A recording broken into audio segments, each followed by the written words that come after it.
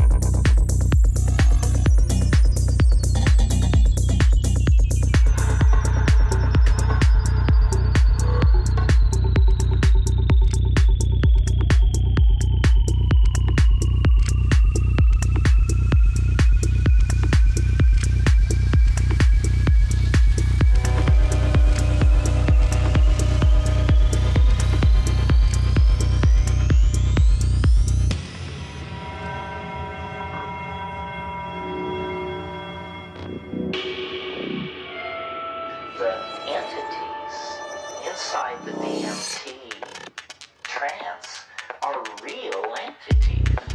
Well, this there has to be taken seriously. Questions like where are they?